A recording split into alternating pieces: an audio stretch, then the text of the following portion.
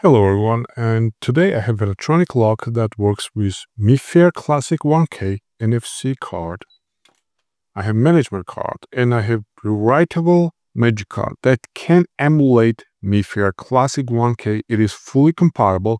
So as you can see, this one cannot open it, but I can clone this card and write it into this ID.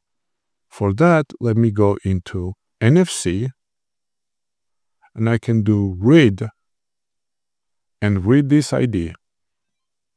And then I can actually save it or emulate. I can save it and emulate later on, or I can emulate right away. But if I want to record this here, for that, I have to use different application. The application I need to use is called NFC Magic I'm going to go into applications and NFC and I have this application right here. NFC Magic. This is the application. I'm going to run it and I'll say check tag. Magic card detected, right? I can write the data right here.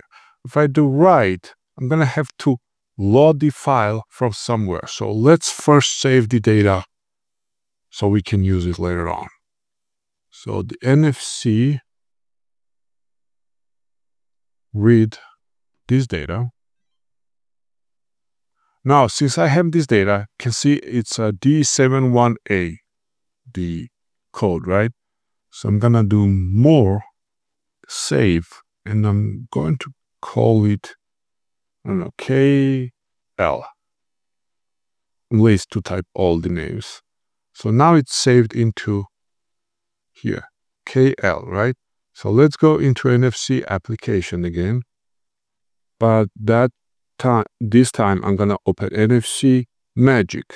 I'm gonna do check Magic, it is Magic card, and then I do more, write, and this is the file I want to write.